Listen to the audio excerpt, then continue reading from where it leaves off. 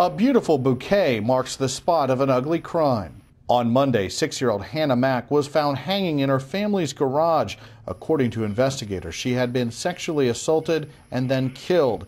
It's not something the people who live in this small town 65 miles southeast of Dallas are used to. What I've seen out here, it's been very, very quiet. Everybody seems to wave, they hide each other. So yeah, it's it's very devastating, especially for a six-year-old that just started her life, just started school.